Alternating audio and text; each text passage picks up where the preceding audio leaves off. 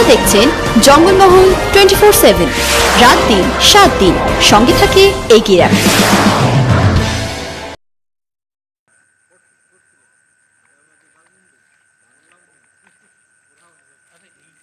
নম্বরটা দিছি ফোন করব আমার তো তুমি জলদি করে আসবি হুম হুম হুম হুম হুম।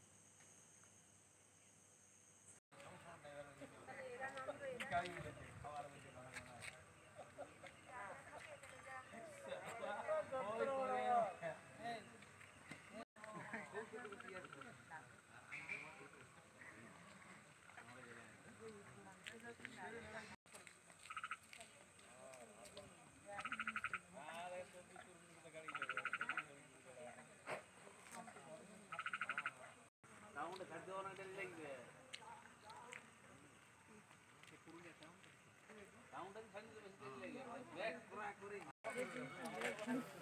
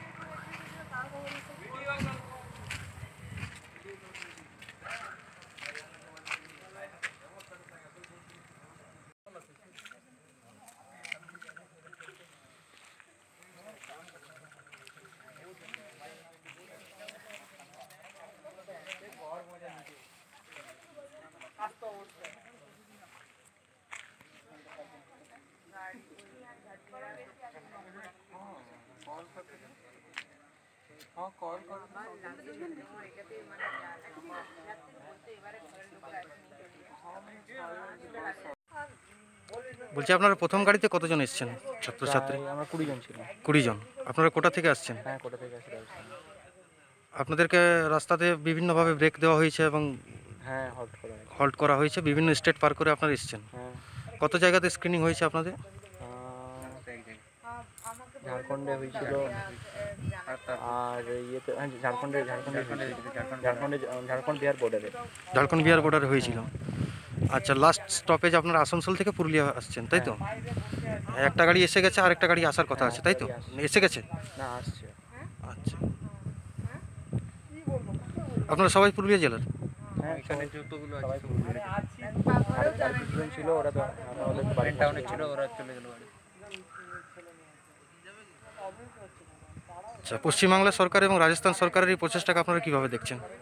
আমরা খুবই সহযোগিতা মানে মনে করছি। আমাদেরকে মানে খুবই একটা মানে জরুরি জিনিস ছিল আমাদের জন্য সাহায্য করা কারণ ওখানে আমাদের জন্য এই লকডাউনের সময় থাকা মানে অসম্ভব হয়ে যাচ্ছিল। আমাদের ওখানে পড়াশুনো পড়াশুনো ঠিকঠাকভাবে হচ্ছিল না। তারপর ওখানে খাবার দাবারও ঠিকঠাকভাবে দেওয়া হচ্ছিল না। তো এই সময়ের মধ্যে আর আমাদের ওখানে সমস্ত যে কোচিং চলছিল, সেগুলো এই এই লকডাউন হওয়ার জন্য আমাদের ওগুলো সব অফলাইন ছিল, তো ওগুলো সব বন্ধ হয়ে গিয়েছিল। তো এই সময় আমরা মানে সমস্যাতে ভুগছিলাম।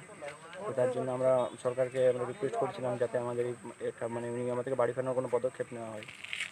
তো বেশ ভালোই লেগেছে আপনার নাম? আমার নাম অনুপ মাহাতো। আপনারা এই মুহূর্তে আপনাদের জেলাতে আপনাদের বাড়িতে এসে পৌঁছেছেন। হ্যাঁ। কীরকম আপনাদের অভিজ্ঞতা কেমন মনে হচ্ছে? খুব ভালো লাগছে। অনেকদিন বাইরে বাড়ির বাইরে ছিলাম লকডাউনে ছিলাম ওখানে। বা বেরোতে হয়নি। তো যে অসুবিধায় ভোগ করছিলাম সেখান থেকে মুক্তি পেয়ে এখানে এলাম। ভালো আমরা বিভিন্ন সোশ্যাল মিডিয়ার মাধ্যমে রাজস্থানের স্বাস্থ্যমন্ত্রী এবং মুখ্যমন্ত্রীর বিভিন্ন বক্তব্য শুনেছিলাম। সেখানে বলা হয়েছিল যে আপনাদেরকে যথেষ্ট ভালোভাবে রাখা হয়েছে। আপনারা বাড়ি ফিরতে চান। আপ- আপনাদেরকে ওখানে রাখান রাখার বিভিন্ন রকম ব্যবস্থা ওরা করে রেখেছিলেন।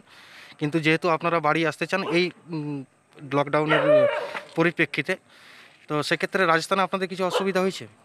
না এমনি কোনো অসুবিধা হয়নি তবে হোস্টেল মালিকরা আমাদেরকে জ্বালাতন করছিল খাবার টাবার ঠিকভাবে দিচ্ছিল না যারা পরিচালনা করে। এমনি মানে রাজস্থান সরকারের ইয়েতে কিছু অসুবিধা হয়নি। ওনারা কিছু অসুবিধা করেনি।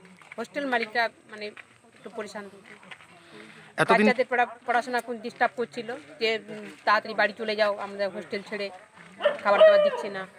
এইসব মানে টর্চার করছিল ছেলেদের পড়া হচ্ছিল না। লকডাউনের প্রায় এক মাস পেরিয়ে গেছে। হ্যাঁ।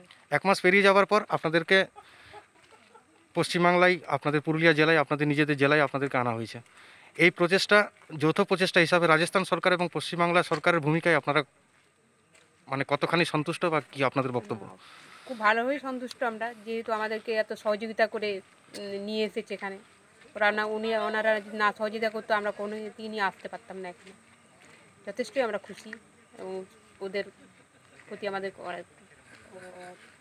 অবাক কৃতজ্ঞতা।